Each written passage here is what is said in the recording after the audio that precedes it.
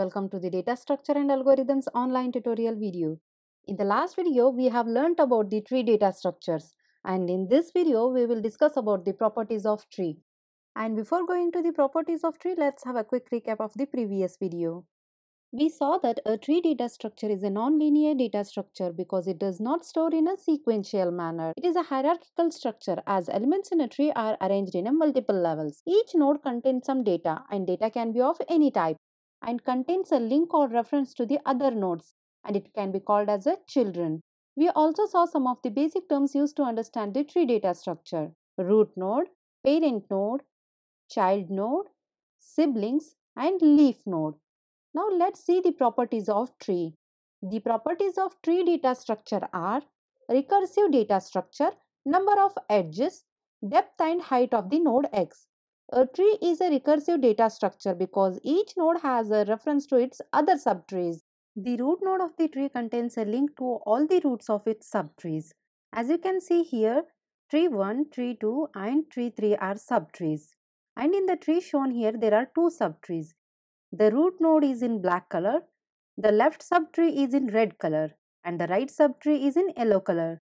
This tree can be further split into two subtrees.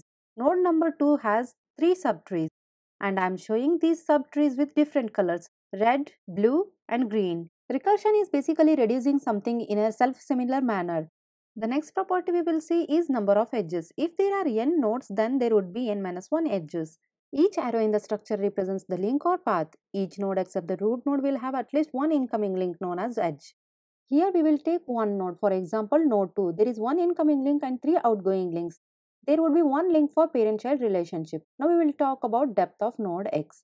The depth of node x can be defined as the length of the path from the root to the node x. One edge contributes one unit length in the path. So the depth of the x can also be defined as the number of edges between the root node and node x.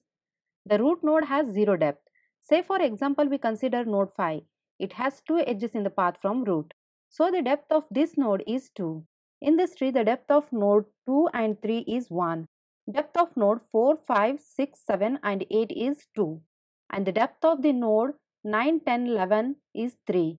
Next is height of node x. The height of node x can be defined as the longest path from the node x to the leaf node. The height of the node will be equal to the number of edges in the longest path from x to a leaf. In this tree, the longest path for the node 3 to leaf is 2. So the height of node 3 is 2. I am coloring all leaf nodes into blue. Now let's see what will be the height of the root node in this tree. We can reach all the nodes from the root node. Number of edges in the longest path is 3. So the height of the root node is 3. In the next video, we will discuss types of trees. Please like the video, subscribe to our channel and please hit on bell icon to get notified whenever we post new videos. Install DSA application from the Google Play Store or from the link given in the description below. Please let us know if you have any queries in the comment section below and thank you for watching.